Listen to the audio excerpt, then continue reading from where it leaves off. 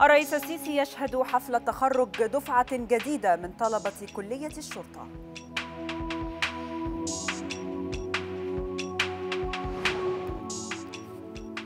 بدء تنفيذ اتفاق تبادل الأسرى بين الحكومة اليمنية والحوثيين.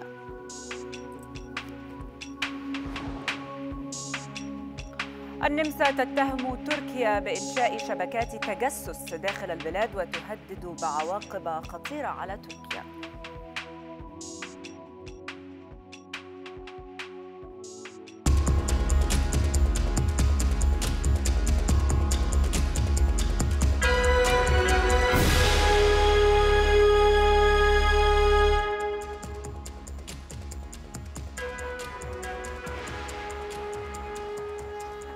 عشر ظهرا العاشرة بتوقيت جرeenwich نشرة إخبارية مفصلة تأتيكم من القاهرة. أهلا بكم. وبداية هذه النشرة مع نهى درويش. أهلا بك نهى. أهلا بك إيمان. أهلا بكم مشاهدينا. شهد الرئيس عبد الفتاح السيسي حفل تخرج دفعة جديدة من طلاب كلية الشرطة لعام 2020 وذلك بمقر أكاديمية الشرطة في القاهرة الجديدة. وأكد الرئيس السيسي أن الشهداء تقدموا بحياتهم مقابل أن يعيش 100 مليون مصري مؤكدا أن غيابهم أمر مؤلم للجميع. عبر الهاتف ينضم إلينا اللواء محمد زكي مساعد وزير الداخلية الأسبق. سيادة اللواء أهلا بحضرتك. طبعا تابعنا بهذا الحفل الهام تخريج الدفعة من كلية الشرطة. وكالعادة تم توجيه التحية والتقدير للشهداء من الشرطة المصرية. كيف تابعت الحفل؟ بسم الله الرحمن الرحيم. أنا لا يمكن إن أنا أقول لك كيف تبعت الحفل كده بالسكات. أنا أقول لك يعني أنا كان في في هذه الاحتفالية عدة محاور رئيسية لازم إحنا كنا نبص عليها. اولا المحور الأول وهو خاص بالإعداد البشري يعني إزاي ان أنا أعد القيادة المطلوبة لمواجهة التحديات من خلال إعداد بدني. واضح جدا إن هو متميز وأيضا من خلال جودة في كشف وعرض هذا الإعداد البدني، ثاني حاجة هو الإعداد التخصصي لأن إحنا بنسمع دلوقتي عن التخصصات اللي بيطلع منها الخريج سواء كان حماية مدنية أو أمن عام أو خلافه من التخصصات الشرطية، ثالثا أيضا عملية استيعاب المستحدثات الخاصة بالتكنولوجيا والمستحدثات الخاصة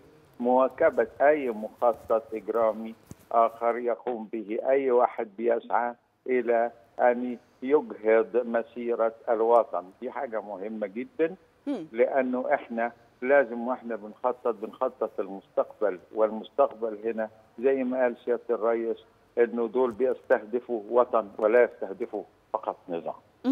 طيب لازم لك... نكون. على قدرة للمواجهة.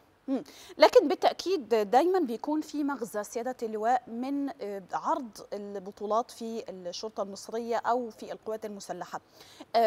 فكرة المغزى هنا من مسألة عرض هذه البطولات وما قدموه من تضحيات. عرض أيضا كلمات مهمة جدا من أبنائهم ومن زوجاتهم وأمهاتهم. شوفي أنا عايز أقول لحضرتك على حاجة. العمل الجيد يعبر عن ذاته والعمل الذي يتم عرضه هنا لا يعبر فقط عن ذاته هو يعبر عن ذاته ويعبر عن إحساسه وشعوره الوطني ويعبر عن جودة ادائه وجودة ادائه اسريا أيضا للأجيال التاليه من أبناء هؤلاء الذين ضحوا بأنفسهم. وأيضا يعبر عن احترام القيادة واحترام الدولة لذكرى هؤلاء الشهداء العظام في صورة استيعاب أبنائهم. وطبعا أكيد يعني أي احتياجات هم بيحتاجها نعم. أنا بشكر حضرتك جزيل الشكر على هذه المداخلة وهذه التفاصيل. اللواء محمد زكي مساعد وزير الداخلية الأسبق. أشكرك شكرا جزيلا لك.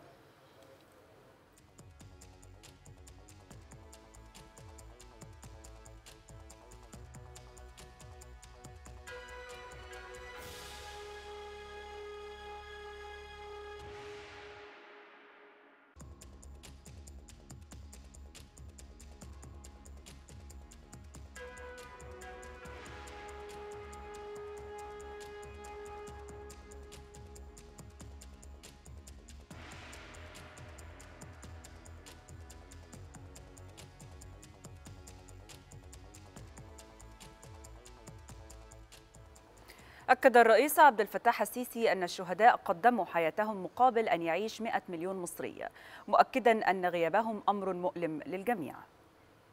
بسم الله الرحمن الرحيم. مش هيفوتني ابدا إن أنا باسمي وباسم كل المصريين أتقدم ليكم بالتهنئة. وصحيح يعني هم مش موجودين معاكم دلوقتي. لكن أنا بقول لكم وبأكد لكم إن كل مصري موجود هنا وحتى بيسمعنا دلوقتي من فضلكم اعتبروهم يعني الأب أو الأخ لك لأن هم فعلا ينظروا إليكم بهذه ال- المنزلة وبهذه المكانة. فصحيح يؤلمكم ويؤلمنا غيابهم واستشهادهم في سبيل مصر. لكن عزائنا وأنا مش عايز أخلي اليوم يعني صعب. لكن عزائنا إن هم قدموا ده عشان 100 مليون مصري يعيشوا. 100 مليون. ده تمن كبير قوي. ف ألف مبروك. ألف مبروك. ألف مبروك. وبعدين برضو مش هيفوتني إن أنا أرحب بكل الأسر اللي موجودة أولياء الأمور اللي هم قدموا يعني أعدوا أبنائهم ثم قدموهم لمصر هنا في كلية الشرطة. عشان يبقوا رجال يدافعوا عننا كلنا. فأنا بوجه لهم التحية والتقدير والاحترام والاعتزاز بما قدموه لنا. ثم بهنيكم جميعا أبنائنا الخريجين وأبنائنا الطلبة اللي موجودين في الكلية. ألف مبروك وبتمنى لكم كل التوفيق وربنا يا رب يحفظكم من كل شر وسوء. شكرا جزيلا. وعبر الهاتف للمزيد من النقاش ينضم إلينا عبدو زكي الكاتب الصحفي. أستاذ عبدو أهلا بحضرتك. أهلا بيك يا فندم. في مجموعة من النقاط الهامة تم توضيحها في الاحتفالية آه، اليوم. مسألة التركيز على التخصص الوظيفي والمعايير الموضوعية المحددة ومدى اتساقها مع الرسالة الأمنية داخل كليات الشرطة المصرية. إزاي حضرتك بتتابع وتابعت هذه التصريحات المهمة؟ والله أنا شايف إن دي خطوة يعني علمية متقدمة جدا في الأداء الشرطي آه، ودي هتعكس حاجات آه، جيدة للغاية هتعكس آه، رجل أمن متخصص للغايه ليس هناك أخطاء. يعني اللي هيتخصص في الحماية المدنية على سبيل المثال هيكون مدرب من أول ما آه، قبل من قبل ما يتخرج من الكلية إنه يتعامل مع النيران يتعامل مع الحوادث يتعامل مع الأخطار وبالتالي ترتقي ال- ال- الرسالة الأمنية وسيكون لدينا ضابط شرطة متخصص منذ اللحظة الأولى والحقيقة ضباط الشرطه الحاليين أكفاء آه، بلا أدنى شك لكنهم اكتسبوا الخبرة مع مرور الوقت نعم الآن لدينا ضابط خريج لديه قدر من الخبرة سينميها مع بداية عمله ليصبح ضابط كفؤ جدا بما يعود بالخير بما يعود بالخير على آه، أمن آه، مم. وسلامة المواطنين. د- فكرة آه، ما واجهته أو ما واجهه الأمن المصري على مدار السنوات ال- الماضية طبعا في إطار مكافحة الإرهاب والقضاء على الجريمة المنظمة. آه، يعني أدى إلى ثقل هذه المهارات اللي حضرتك يمكن بتتحدث عنها إلى جانب طبعا ما تقدمه لهم آه، كلية الشرطة. آه، إزاي حضرتك بتشوف مدى المساهمة للظروف والضغوط اللي بالفعل يعني تم وضع هؤلاء فيها في السنوات الماضية في مسألة مهاراتهم وفي مسألة إعدادهم للقتال؟ حقيقة. مم. الحقيقة لما بنيجي نتكلم عن دور الشرطة خاصة ما بعد في العشر سنوات الأخيرة تحديدا من 2011 أو من أواخر 2010 وحتى اليوم. نجد أن ضابط الشرطة في هذه المرحلة هو الحقيقة عانى معاناة رهيبة جدا لماذا؟ لأن جهاز الشرطة الحقيقة في 2011 ودي نقطة الواحد دائما أنا يعني أؤكد عليها عانى كثيرا جهاز الشرطة بعد 2011 نقدر نقول إنه انهار ولولا أن هناك إرادة سياسية. برزت مع 2013 تحديدا بعد ثورة يونيو 2013 لما آه، آه، ربما استرد جهاز الشرطة قوته واستعاد. مهم. الحقيقة تدرج جهاز الشرطة آه، بسرعة رهيبة جدا نحو استعادة قوته ووصل لقوته. لما الحقيقة الفترة لكن لكن ده ترك برضه رسالة مفيدة جدا وهي إن الشعب أدرك أهمية رجل الشرطة على كافه في كافة التخصصات سواء كان في المباحث سواء كان أمن وطني سواء كان حماية مدنية سواء كان مرور. لما عانيناه الحقيقة بعد 2011 بسبب هذا الفراغ الأمني. نعم. هذا الفراغ الأمني أريد لمصر أريد لها حالة من الفوضى. وبالتالي عندما استعادت عندما انهارت الشرطة أو ضعفت الشرطة في هذه الفترة بفعل فاعل أنا أكرر بفعل فاعل أدركنا قيمة الشرطة. لما بدأت الشرطة ترجع لقوتها الحقيقة واستردت عافيتها تماما تماما أنا أؤكد لك من خلال متابعتنا للأوضاع على الأرض الشرطة استعدت قوتها تماما الحقيقة مم. إن الشعب بدأ ينظر للشرطة بقدر رهيب ضعف ما كان من الاحترام. وبالتالي آه، أدرك أهمية الشرطة. الحقيقة طبعا زي ما قلت لحضرتك إن عملية هذا الانهيار والضعف والمعاناة نعم. اكتسبت رجل الشرطة خبرة مضاعفة في السنوات العشر الأخيرة. بالتأكيد.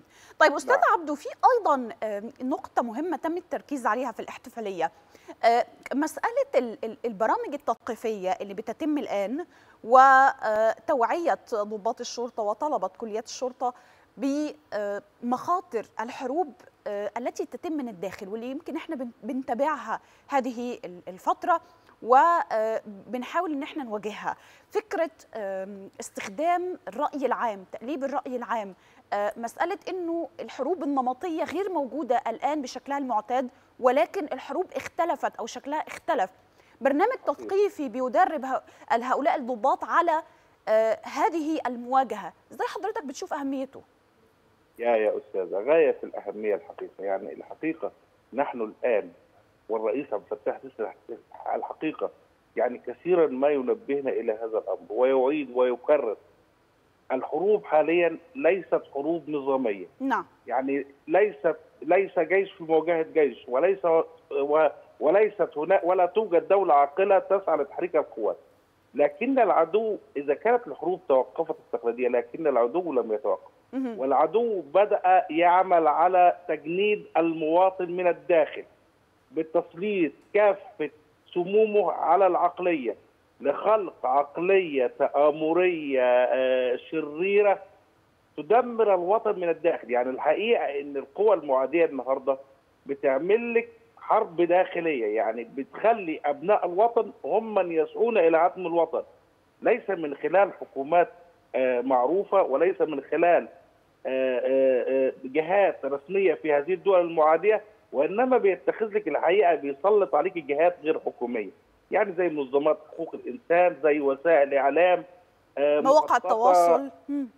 زي مسميات مم. كما حصل في التسريبات الأخيرة باسم الديمقراطية ودعم الديمقراطية والحاجات دي كلها وبالتالي هنا حروب الجيلين الرابع والخامس. التي تستخدم طبعا دور الشرطة الحقيقة تعتبر هي جيش مصر الداخلي عليهم حماية يعني هم مكلفون بحماية الجبهة الداخلية لأن اختراق العقول وتر والسيطرة عليها وترقى العقول المسيطر عليها تبث سمومها والشائعات تارة بأنها بعد غسيل الأدمغة ترى بأنها بأن بعض العقول تعرضت لغسيل الأدمغة وترى عن آه، سوء قصد يعني. الحقيقة أحيانا يبقوا واعيين لكن لديهم مصالح بعض الناس من المصريين أو بعض الناس في الداخل المصري لديهم مصالح مع دول أجنبية مع أجهزة مخابرات بالتأكيد. وبالتالي. يسعون لبث السموم من أجل تحقيق مصالح ضيقة.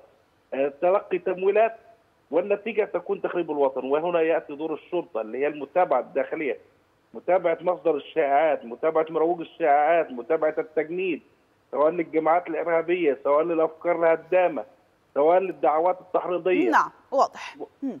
نعم. نعم. أنا بشكر حضرتك جزيل الشكر الأستاذ عبدو زكي الكاتب الصحفي على كل ما وضحته لنا في آه، من تفاصيل وفي كلمته قال اللواء الدكتور أحمد إبراهيم مساعد وزير الداخلية رئيس أكاديمية الشرطة أنه تم إعداد برنامج تثقيفي استهدف كافة طلبة الكلية ويرتكز على تدعيم قيم الولاء للوطن والتحصين الفكري من التطرف والتعصب وحذر من مخاطر الحروب غير النمطية وأدواتها وأساليب إسقاط الدول من الداخل. إنه يوم يقف فيه الأبناء في إباء وشمم حيث نحتفل بتخريج 1501 من طلبة كلية الشرطة. من بينهم 51 طالبا وافدا من دول فلسطين وتشاد والصومال بنسبة نجاح بلغت 99.6 من عشرة في المئة. وتخريج 595 من طلبة الكلية خريجي كليات الحقوق بنسبة نجاح بلغت 100% من بينهم 133 طالبا حصلوا على درجة الماجستير في القانون منهم 13 بتقدير امتياز و113 بتقدير جيد جدا وسبعة بتقدير جيد. كما حصل 200 طالب من الدفعة الثانية على درجة الدبلوم في القانون.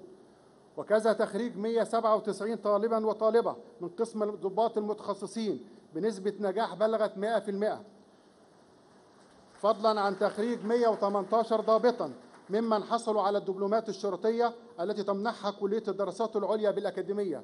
منهم 14 ضابطا وافدا من دول فلسطين الكويت البحرين العراق بنسبة نجاح بلغت 83% هذا وقد قام مركز بحوث الشرطة بتدريب 343 من الكوادر الشرطية من 41 دولة إفريقية بالتعاون مع الوكالة المصرية للشراكة من أجل التنمية بوزارة الخارجية. كما قامت كلية التدريب والتنمية بتدريب عدد 3625 ضابطا من مختلف الرتب بالوزارة في جميع تخصصات العمل الأمني كما بذلت الإدارة العامة لتدريب كلاب الأمن والحراسة جهودا غير مسبوقة في مجالات تأمين المنشآت الحيوية والكشف عن مفرقعات وضبط قضايا المخدرات. وأيضا المزيد من المتابعة والنقاش ينضم إلينا عبر الهاتف اللواء رضا يعقوب خبير مكافحة الإرهاب الدولي. سيادة اللواء أهلا بحضرتك. السلام عليكم ورحمة الله وبركاته على المشاهدين. وعليكم السلام. اذا هناك آه، عرضا آه، يعني وافيا جدا للمهارات القتالية وأيضا المهارات العلمية والتثقيفية اللي بيتلقاها ضباط الشرطة المصرية. إزاي حضرتك تابعت هذا وكيف من الممكن أن ينعكس بالفعل على آه، مسألة مكافحة الإرهاب ككل؟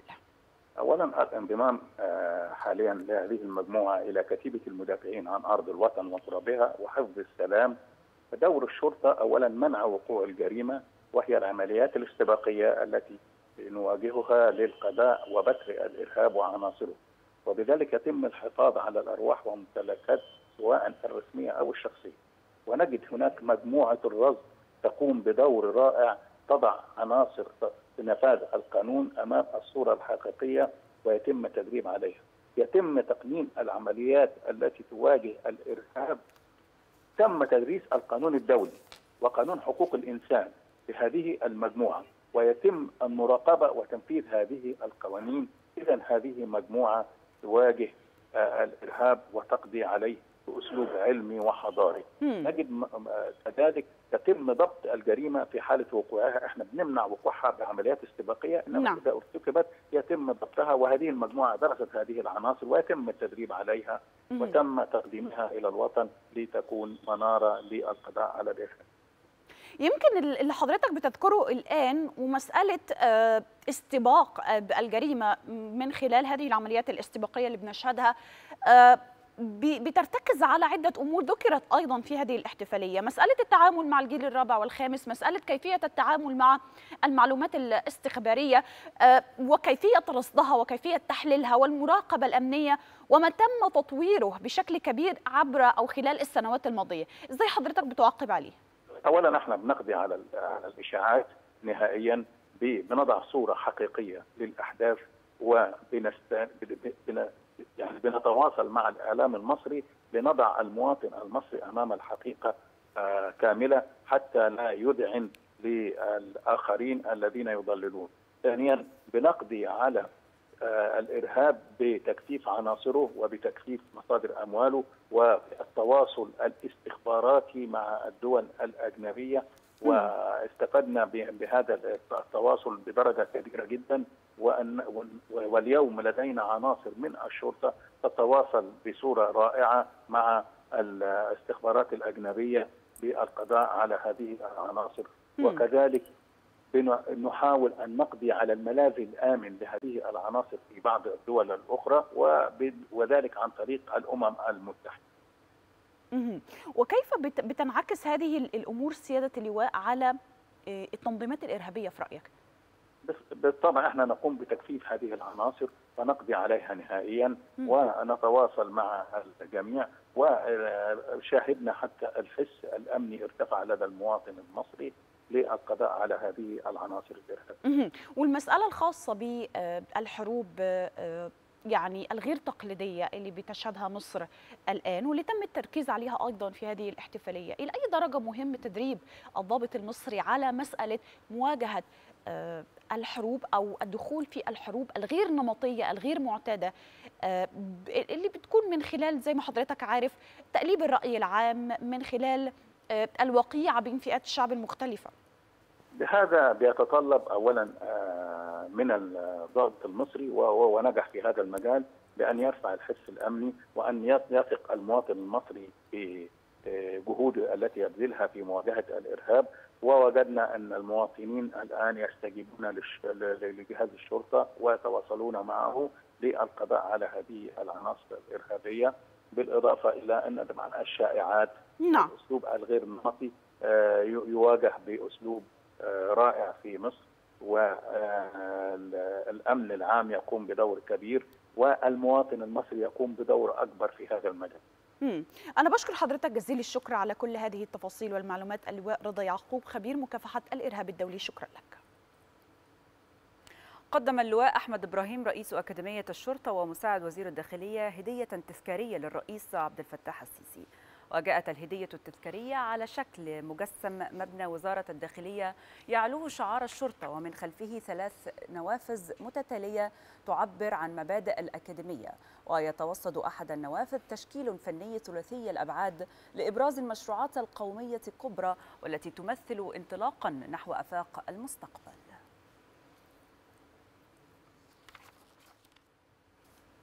وأدت مجموعة من طلبة السنة الأولى وطلبة الكلية من خريجي كلية الحقوق عروض القوى البدنية والدفاع عن النفس. وتم استعراض عروض المرونة والقوة وذلك بتكسير الأهداف المتصاعدة والمتتابعة من ارتفاعات مختلفة تعكس مدى المرونة واللياقة التي وصل إليها الطلاب أثناء تدريباتهم بالكلية. كما تم تقديم عروض الكفاءة القتالية وميدان الجبال وقدم الطلبة عروض كمال الأجسام وبعض المهارات الخاصة بالقفز من خلال حلقات النيران والتي شاركهم بها عدد من الطلبة الوافدين من الدول الأفريقية الناطقة باللغة الفرنسية.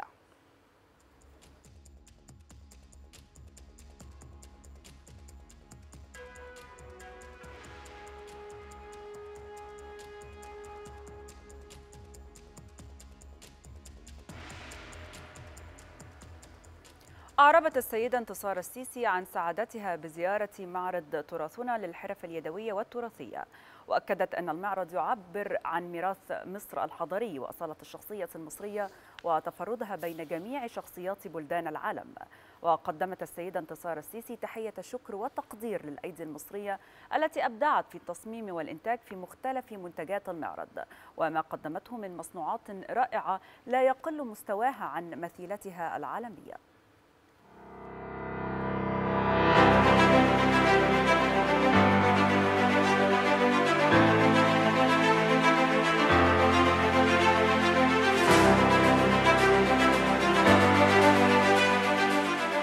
هذا المعرض يأتي انطلاقا من الأهمية الاستراتيجية للمشروعات الصغيرة والمتناهية الصغر لقدرتها على توفير فرص عمل ومصدر دخل للمرأة.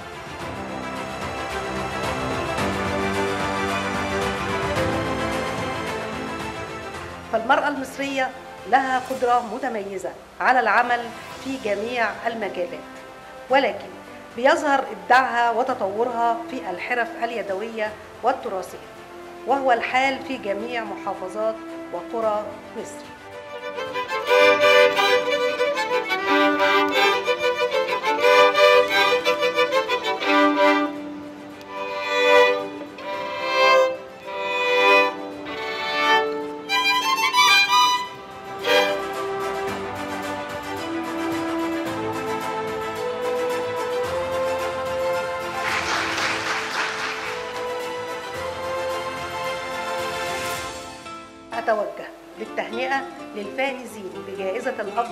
للمشروعات الحرفية واليدوية ومتناهية الصغر.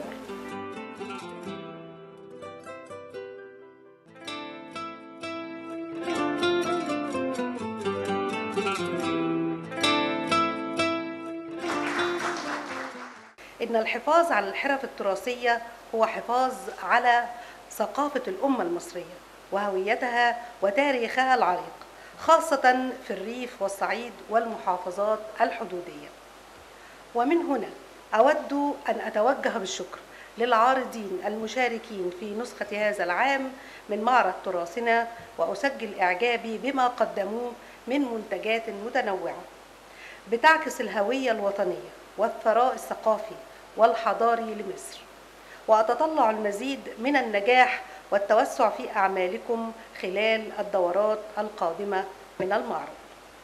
وأؤكد من خلالكم أن الدولة ستواصل سعيها الدائم لتقديم كافة أوجه الدعم لأصحاب هذه المشروعات خاصة الدعم الموجه لسيدات مصر.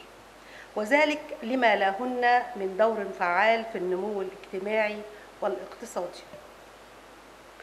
وأخيرا أجدد الإعراب عن سعادتي بوجودي معكم اليوم والذي أتطلع لأن يمثل رسالة دعم لأصحاب الحرف التراثية للمحافظة عليها والعمل على نموها والاستمرار في التطور والإبداع وشكرا.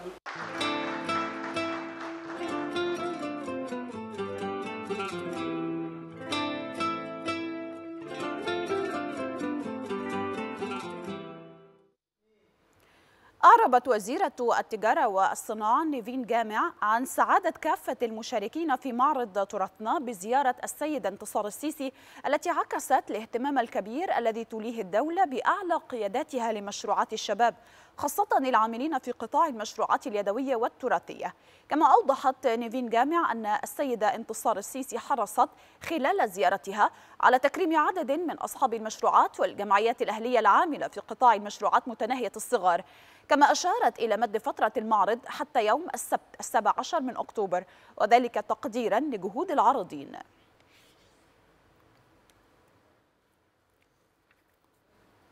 شهد رئيس أركان حرب القوات المسلحة الفريق محمد فريد إحدى مراحل المناورة ردع 2020 والتي تنفذها وحدات من المنطقة المركزية العسكرية بالتعاون مع الأفرع الرئيسية للقوات المسلحة.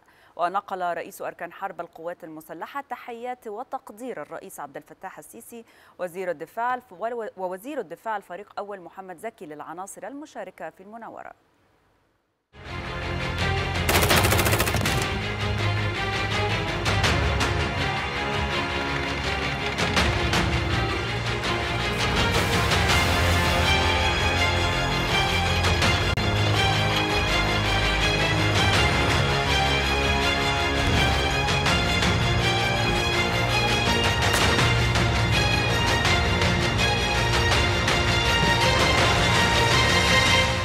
المناورة.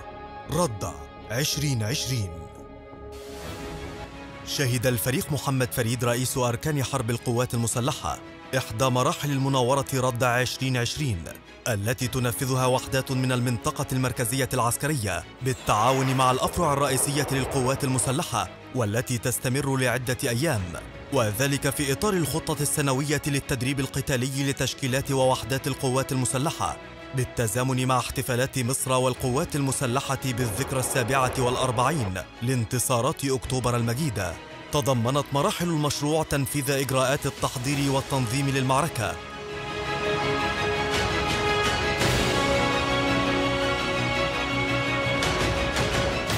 والتحرك والفتح ودفع القوة الرئيسية لمهاجمة الحد الأمامي للدفاعات المعادية. واستكمال الهجوم لتحقيق المهام المخططة وذلك باستخدام مقلدات الاشتباك المايلز. ظهر خلال المرحلة مدى ما وصلت إليه العناصر المشاركة من مهارات قتالية عالية مكنتها من تنفيذ المهام المخططة والطارئة بكفاءة عالية. ونقل رئيس أركان حرب القوات المسلحة تحيات وتقدير السيد الرئيس عبد الفتاح السيسي رئيس الجمهورية القائد الأعلى للقوات المسلحة. والفريق أول محمد زكي القائد العام للقوات المسلحة وزير الدفاع والإنتاج الحربي للعناصر المشاركة مقدما لهم التهنئة بالذكرى السابعة والأربعين لانتصارات أكتوبر المجيدة التي ستظل شاهدة على عبقرية المقاتل المصري وإرادته القوية التي لا تعرف المستحيل. وناقش الفريق محمد فريد رئيس أركان حرب القوات المسلحة عددا من القادة والضباط المشاركين بالمشروع في أسلوب تنفيذهم للمهام المكلفين بها وقام بفرض عدد من المواقف التكتيكية الطارئة للتأكد من قدرتهم على اتخاذ القرار السليم لمواجهة التغيرات الحادة والسريعة أثناء سير المعركة. حضر المرحلة عدد من قادة القوات المسلحة. المناورة. ردع 2020 تمكنت الأجهزة الأمنية من إلقاء القبض على المتهمين بقتل فتاة المعادي أثناء سرقة حقيبتها بالقوة بعد تحديد مكان اختبائهم وكشف مصدر أمني. أن التحريات أسفرت عن التوصل لخط سير الميكروباص الذي نفذ من خلاله الجناة جريمتهم بمنطقة دار السلام وتبين أنها سيارة ميكروباص بيضاء اللون. مشيرا إلى أن المتهمين مسجلان خطر ومن أصحاب السوابق وأقارب وأحدهم من وأقارب وأحدهم من منطقة مصر القديمة. الثاني من منطقة بولاق الدقرور واتفق فيما بينهما على تشكيل عصابة لسرقة الحقائب بأسلوب الخطف باستخدام سيارة موصة اللوحة المعدنية. كما أضاف المصدر أنه في يوم الحادث قام المتهمان بمزاولة نشاطهما الإجرامي حيث اقترب من الفتاة باستخدام سيارة ميكروباص وانتزع منها الحقيبة بالخطف إلا أنها تشبثت بها. ومع سير الميكروباص بسرعة فائقة ارتطمت رأس الفتاة بسيارة كانت متوقفة بجوار الطريق ما أدى إلى سقوطها وحدوث نزيف أسفر عن وفاتها.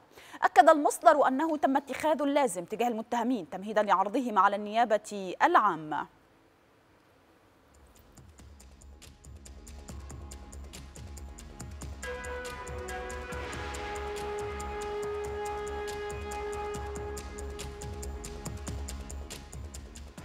بدأ اليوم تنفيذ اتفاق تبادل الأسرى بين الحكومة اليمنية وجماعة الحوثي بوصول دفعة أولى من الأسرى الحوثيين إلى مطار سيئون بمحافظة حضرموت.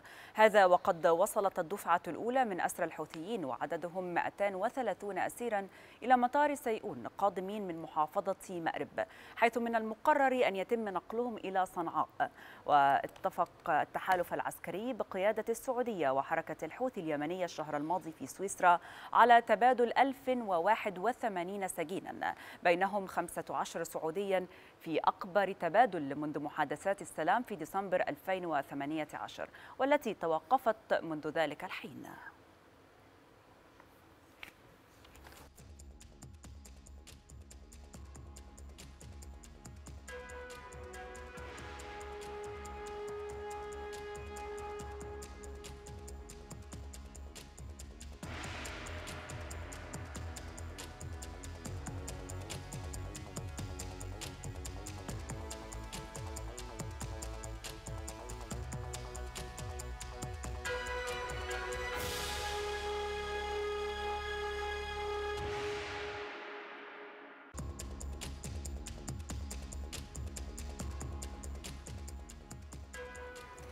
أكدت الممثلة الخاصة للأمين العام للأمم المتحدة في العراق جنان هانس بلاسخارت أهمية إجراء انتخابات ذات مصداقية في العراق لإعادة بناء ثقة الجمهور.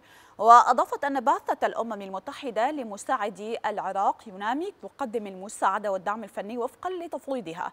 وستواصل تقديم المشورة والدعم المطلوبين من قبل الحكومة العراقية والمؤسسات ذات الصلة. ومشيرة إلى أن الانتخابات هي بقيادة عراقية ومملوكة للعراقيين. أعلن الرئيس اللبناني ميشيل عون تأجيل الاستشارات النيابية الملزمة لاختيار رئيس حكومة جديد والتي كانت مقررة اليوم إلى الخميس الثاني والعشرين من أكتوبر الجاري. وأفاد بيان للرئاسة اللبنانية أن التأجيل جاء بناء على طلب بعض الكتل النيابية لظهور صعوبات تستوجب العمل على حلها. وكانت الاستشارات النيابية التي جرت أواخر أغسطس أسفرت عن تسمية سفير لبنان لدى ألمانيا مصطفى أديب لتشكيل الحكومة ولكنه اعتذر عن عدم إتمام مهمته بسبب خلافات بين الكتل السياسية حول الحقائب الوزارية.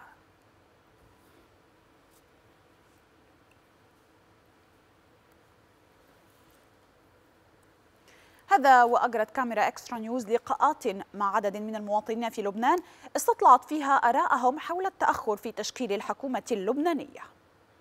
وما لقينا نتيجة من شيء كرماله الوضع نزول نزول نزول. فمش متوقعين شيء بقى من حدا إلا ما يصير يعني في حلول جذرية يعني بالبلد ويبلش في إصلاح. بس مش مهم مين بيجي مهم مين بيجي وبيصلح. نحن هذا نحن هذا اللي بدنا إياه. متطلبات أهم شغلة هي الاقتصاد. يشتغلوا على البلد. وفي شغلة ثانية هي حفظ المقاومة يعني سلاح المقاومة خط أحمر. لأنه هذا سلاح يعني حامينا فينا نقول. لبنان وضعه تعيس جدا جدا جدا. على مستوى بيهددوا بالدعم على البنزين على الخبز على الأدوية. هلا مقطوع تصور إنه لبنان عروسة الشرق الأوسط كلها كانت. فيش في بنادول يا أخي بدنا حقوقنا شعب. لا عندك بنزين لا عندك مي لا عندك كهرباء لا عندك أكل. خلينا اترك لنا الأكل هلا على جنب عارف كيف؟ شو بدنا بعد يعني؟ بدنا رئيس حكومة يجي يعمل إصلاحات. إن شاء الله بيكون من ما كان يكون. مش ضروري يا أخي يجيبوه سياسي يجيبوه من الناس. أقل شيء دولار يعني. يعني الدولار 8000 9000 صرفه يعني. كثير يعني. ال 10 دولار 90000 80000 يعني. كوارث يعني. اللي بيفخ الدولاب سيارته حقه مليون ليرة مليون ونص ليرة يعني. يعني قد معاشه للواحد عمرتين يعني. معاش ضابط بالجيش بيطلع 200 دولار صار عقد الكنيسة الإسرائيلية اليوم جلسة للتصويت على اتفاقية السلام التي تم توقيعها الشهر الماضي بين إسرائيل والإمارات. وذلك بعدما صادقت الحكومة الإسرائيلية الاثنين الماضي بالإجماع على صياغتها. وكان نتنياهو وقع الاتفاقية مع وزير الخارجية الإماراتية عبد الله بن زايد في حفل إقامة أقامه الرئيس الأمريكي دونالد ترامب في الخامس عشر من سبتمبر. يجتمع قادة دول الاتحاد الأوروبي اليوم وعلى مدار يومين في بروكسل لبحث عدد من الملفات. وتهيمن قضايا تفشي فيروس كورونا وملف علاقات الاتحاد مع بريطانيا في ظل اتفاق بريكزيت على القمة الأوروبية. كما ستشهد الاجتماعات بحث ملف انتهاكات تركيا في المتوسط وتدخلها في الصراع بين أرمينيا وأذربيجان في إقليم ناغورنو كاراباخ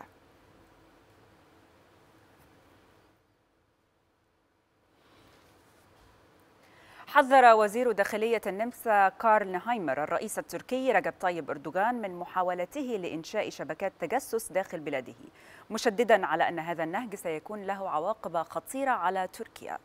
وقال نيهايمر إن النمسا دولة ديمقراطية ويجب على أي شخص يهدد حقوق مواطنيها الأساسية أن يتوقع أنه سيتم الرد عليه بكل الوسائل المتاحة. وكانت الأجهزة الأمنية في النمسا قد ضبطت مؤخرا شبكة تجسس تقودها سيدة تعمل لصالح المخابرات التركية.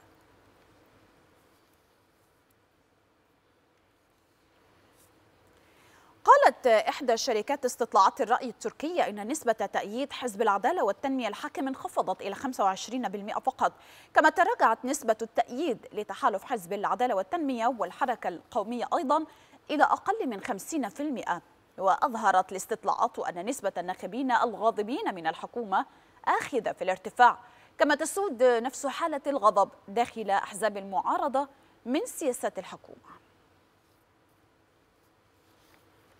سجلت نسبة القروض الشخصية ارتفاعا ملحوظا لتسجل 47% في عام واحد. وبحسب البيانات الصادرة عن اتحاد البنوك التركية فقد زادت القروض النقدية المقدمة بنسبة 36% في أغسطس مقارنة بالفترة نفسها من العام السابق وبلغت 3 تريليونات و633 مليار ليرة. كما بلغ معدل التحصيلات المراد تصفيتها إلى إجمالي القروض 4.5%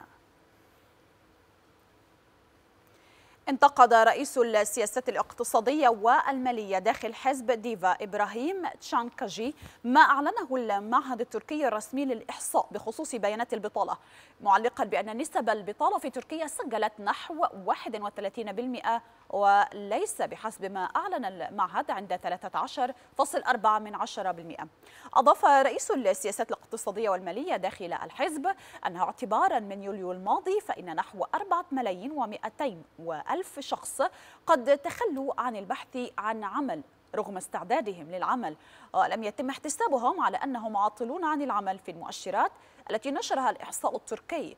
وأضاف أن عدد العاطلين عن العمل بشكل عام وصل إلى 8 ملايين و518 ألف عاطل. أعلن وزير النفط العراقي إحسان عبد الجبار عن إلغاء عقد تطوير حقل المنصورية الغازي الواقع قرب الحدود الإيرانية مع مجموعة تركية. وقال وزير النفط إن العراق يدعو شركات الطاقة العالمية للتنافس على تطوير حقل المنصورية.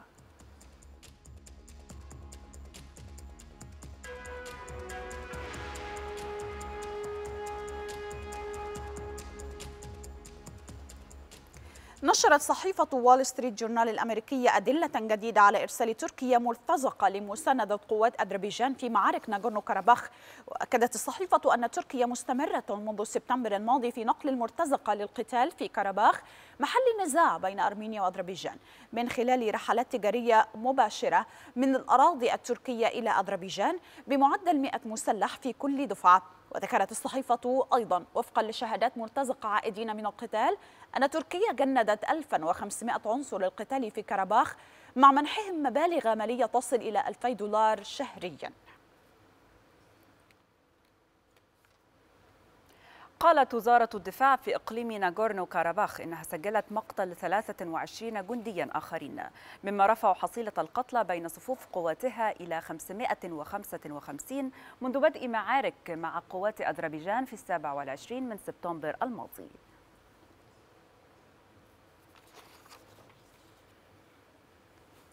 أعلن الرئيس القرغيزي سورناباي جينيكوف استقالته من منصبه وأكد أنه لن يقبل أن يكون في تاريخ بلاده كرئيس سفك دماء وأطلق النار على مواطنيه وخلال كلمته دعا الرئيس القرغيزي قادة المعارضة لسحب أنصارهم من العاصمة وإعادة الحياة الآمنة لسكان شيك مؤكدا أهمية وحدة الشعب وتوافقه الاجتماعي.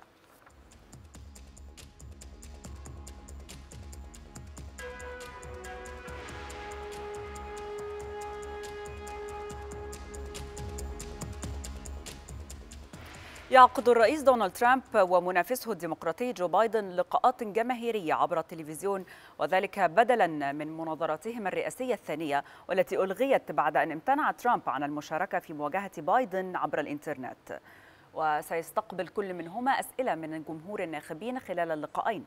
وكان ترامب انسحب من المناظرة عندما قالت اللجنة المنظمة إنها ستعقد عبر الإنترنت بسبب المخاوف من فيروس كورونا. أكد الرئيس الأمريكي دونالد ترامب أنه متقدم في استطلاعات الرأي بالرغم من التعتيم الإعلامي وما وصفه بفساد الديمقراطيين. وحضر ترامب خلال مؤتمر انتخابي في ولاية آيوا من أجندة الديمقراطيين مؤكدا أن منافسه جو بايدن تلقى دعما من منظمات تدعم العنف وتنشر الفوضى. ولفت ترامب إلى أن الديمقراطيين يخططون للسيطرة على المحكمة العليا وفتح الحدود أمام المجرمين والقتلة. كما شدد على أن نجاحه في الانتخابات السابقة في 2016 كان بمثابة عقاب قاس للنخبة السياسية الفاسدة. قالت وكالة رويترز إن أعدادا قياسية من الناخبين الأمريكيين بدأوا التصويت بالفعل في الانتخابات الرئاسية للاختيار بين الجمهوري دونالد ترامب والديمقراطي جو بايدن كما لم يمانعوا الانتظار لساعات طويلة للتصويت مبكرا. وبحسب الوكالة صوت 14 مليون أمريكي بالفعل في الانتخابات العامة ووفقا لتحليل معلومات التصويت في مشروع الانتخابات الأمريكية. مشيرة إلى أن الولايات المتأرجحة الرئيسية مثل فلوريدا شهدت إقبالا كثيفا حيث أدلى أكثر من مليوني ناخب بأصواتهم بالفعل وذلك قبل الانطلاق الرسمي للانتخابات في الثالث من شهر نوفمبر القادم. قال وزير الدفاع الأمريكي مارك أسبر إن بلاده وكوريا الجنوبية ستظلان حليفتين. عسكريتين مشيرا لالتزام البلدين المستمر بالتخلص من السلاح النووي وترسانة الصواريخ الباليستية التي تمتلكها كوريا الشمالية. وخلال استقباله وزير دفاع كوريا الجنوبية سو ووك قال إسبر إن برامج كوريا الشمالية النووية والباليستية تظل تهديدا خطيرا لأمن واستقرار المنطقة والعالم.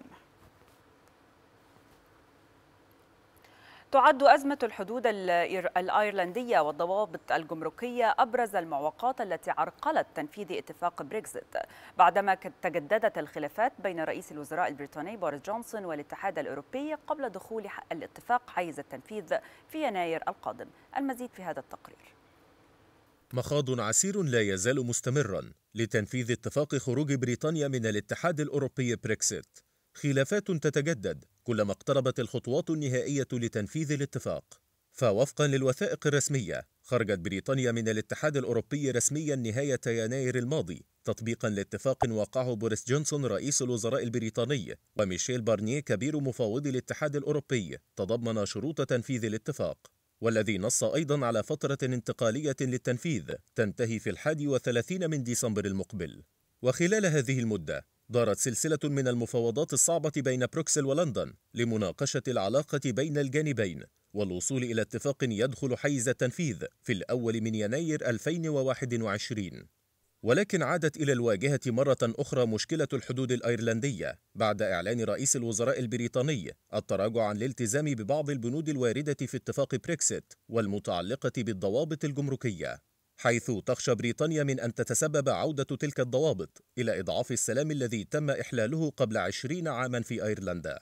المفوضية الأوروبية من جانبها رفضت مشروع القانون البريطاني وطلبت من لندن سحبه مؤكدة أنه أضر بالثقة المتبادلة بين لندن وبروكسل ولم تستبعد اللجوء القضاء لإجبار بريطانيا على الالتزام بكل بنود الاتفاق وهو ما أثار مرة أخرى مخاوف إتمام الخروج البريطاني من العباءة الأوروبية بدون اتفاق. ما يعني العودة إلى الرسوم الجمركية والإجراءات الإدارية المعقدة التي قد تلحق أضرارا بالغة بالاقتصاد البريطاني؟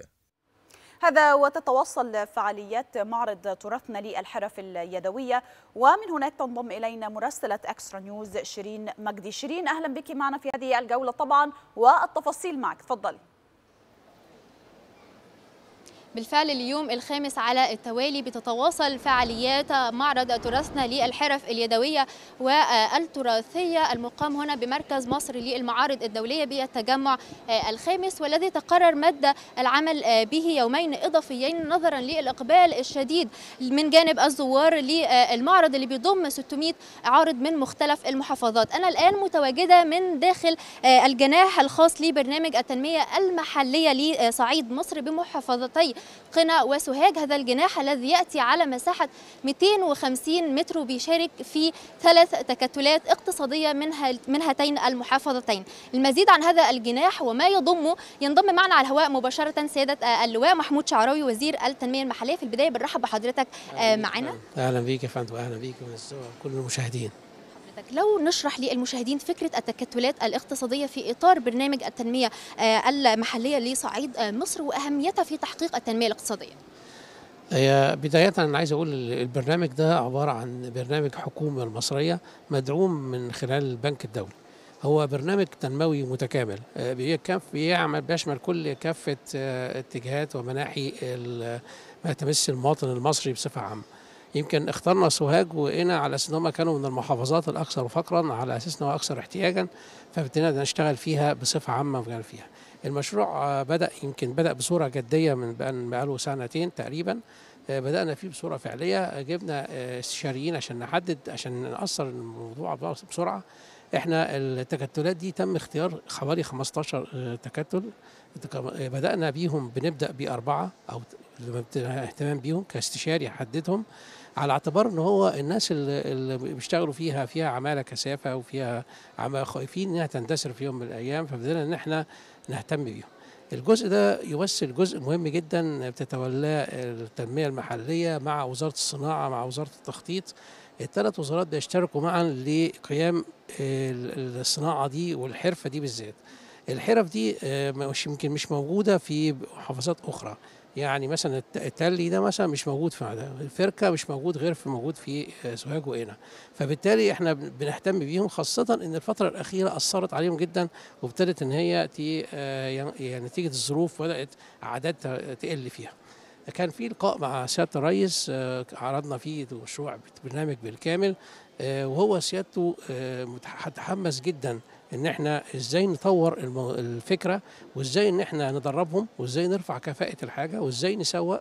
واهتم جدا بالموضوع وابدى سعادته إن في 50 مليون جنيه من تحيا مصر للخاصة بتطوير الفكرة بتطوير الصناعات دي والتكتلات دي آه، مشاركة بين الثلاث وزارات. بحيث إن هو يلتقي مرة تانية ويشوف إيه اللي هيتعمل وإيه الفكرة اللي هتتعمل. كان مهم فيها جدا إن إحنا نطور ورفع كفاءة من خلال خبراء واقتصاديين واستشاريين. تاني حاجة إزاي فكرة التسويق. ثالثا يكون في جودة وفي علامة تجارية جيدة. آه، رابعا إن إحنا نخش في كافة البرامج الموجودة التكنولوجيا نستغل التكنولوجيا المعلومات وعلى الهواء أونلاين نبتدي نعرض المعروضات دي. كان مشاركتنا في في المعرض هنا كان مهم جدا إن إحنا معظم الناس دي لم تشارك قبل كده في معارض أخرى. فقلنا إن إحنا ناخد خدنا مساحة كبيرة من المعرض زي ما سعادتك قلتي وحط وحطيناها في موضع وجبنا الناس تشوف. الأثاث يمكن أثاث في دمياط بيعتمد الأساس الكلاسيك. إحنا قلنا هنا في ناس عندهم بيشتغلوا في الأساس الكلاسيك وجبنا ده أثاث modern. وقلنا يعني نوع من أنواع التغيير ونشوف الصناعة المصرية كمودرن هتعمل إيه خاصة إن في منافس أوروبي في مش موجود أساسا. فبالتالي يعني الحمد لله لغاية دلوقتي يعني خمس يعني مش عايز أقول يعني لكن ممكن سعادتك تبقى تسالي الناس الحمد لله رب العالمين المبيعات جيدة جدا طلبيات كبيرة جدا اتخذت على مستوى التكتلات الثلاثه إن شاء الله في الفترة اللي جاية طبعا بكيف سيادة الرئيس ومتابعة من دولة رئيس الوزراء آه، معانا. هنعمل إن شاء الله بإذن الله تطوير في كل حاجة. إن شاء الله دي مش مستقبلية يا فندم ده إحنا فعلا بدأنا فيها. ما فيهاش مستقبلية. أنت عارف يا سيادة الرئيس مفيش حاجة اسمها مستقبلية. إحنا بنشتغل في اليوم. فأنا من من ساعة ما اتقابلنا وهو يمكن انه يمكن مدير البرنامج الدكتور هشام كان عرض في الافتتاح على سياده الرئيس إن إحنا جاهزين إن إحنا نعرض. فبالليل كان بيطلبنا إن إحنا عملتوا إيه طيب؟ وتعالوا لي بقى عشان نقعد مع بعض ونشوف إيه التوازي فيعني إحنا فعلا دي مش مستقبلية دي بدأنا فعلا بالفعل وإن شاء الله بإذن الله هتكون الصناعة دي ليها تأثير كبير. وإحنا إن شاء الله كوزارة التنميه المحلية بنفكر إن إحنا نعمل زي آه، آه، موقع خاص بالتنمية بالحرفية بالتنمية وخاصة المحافظات. في كل محافظة في مصر بتتميز بنوع معين وإن شاء الله بإذن الله هنعمله إن شاء الله هنعمله إن شاء الله ونحط فيه كل الصناعات الحرفية الموجودة في مصر. اللواء محمود آه، شعراوي وزير التنمية المحلية بشكرك شكرا جزيلا على هذا اللقاء الذي تحدثت فيه عن هذا الجناح الخاص ببرنامج التنمية المحلية بصعيد مصر لمحافظتي قنا آه، وسوهاج من معرض تراثنا للحرف اليدوية. بالعودة إليكم الاستوديو مرة أخرى. شكرا جزيلا لك شيرين مجدي مراسلة اكسترا نيوز وطبعا الشكر موصول لسيادة الوزير ضيفك الكريم. أعلنت وزارة الصحة عن تقديم التوعية الصحية بمبادرة رئيس الجمهورية لمتابعة علاج الأمراض المزمنة. واكتشاف المبكر عن الاعتلال الكلوي وتحت شعار 100 مليون صحة ل 554547 مواطنا خلال شهر سبتمبر الماضي.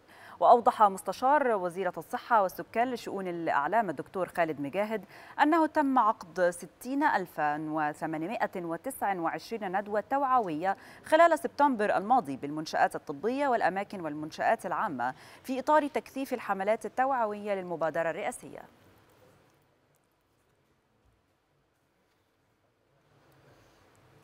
أعلنت وزارة المالية والتربية والتعليم طرح المرحلة الثانية من المشروع القومي لبناء وتشغيل ألف مدرسة متميزة جديدة بنظام المشاركة مع القطاع الخاص اعتبارا من يوم الأحد المقبل. كما سيتم توجيه الدعوة للشركات والتحالفات الراغبة في المشاركة في هذا المشروع من أجل التقدم للحصول على مستندات التأهيل المسبق. أكد وزير المالية محمد معيط أن التعليم يحتل أولوية قصوى لدى القيادة السياسية باعتباره ركيزة أساس ركيزة أساسية في استراتيجية بناء الإنسان المصري وتعزيز وعيه الوطني. فيما قال وزير التربية والتعليم طارق شوقي إن المشروع يستهدف تقديم خدمة تعليمية متميزة تفوق المدارس التجريبية الرسمية خاصة أنه يخضع لإشراف الوزارة التي تتخذ كل الإجراءات لتذليل أي عقبات.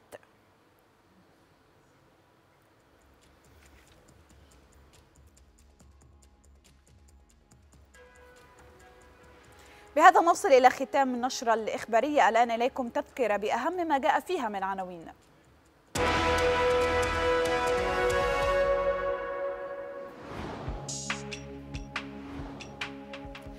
الرئيس السيسي يشهد حفلة تخرج دفعة جديدة من طلبة كلية الشرطة.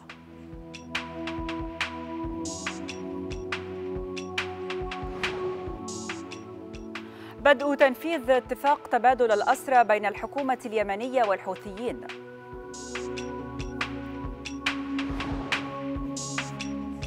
والنمسا تتهم تركيا بإنشاء شبكة تجسس داخل البلاد وتهدد بعواقب خطيرة على تركيا. انتهت النشرة الإخبارية وفي النهاية نحيط علم السادة المشاهدين بأن تردد إكسترا نيوز HD هو 12303 ومعدل الترميز 27500 ومعامل الاستقطاب أفقي. شكرا لكم مشاهدينا على حسن المتابعة وكان معكم نهى درويش وإيمان الحيزي.